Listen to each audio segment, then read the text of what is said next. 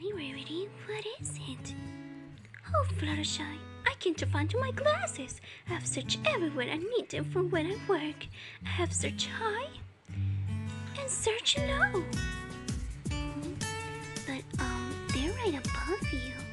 Huh? Oh dear.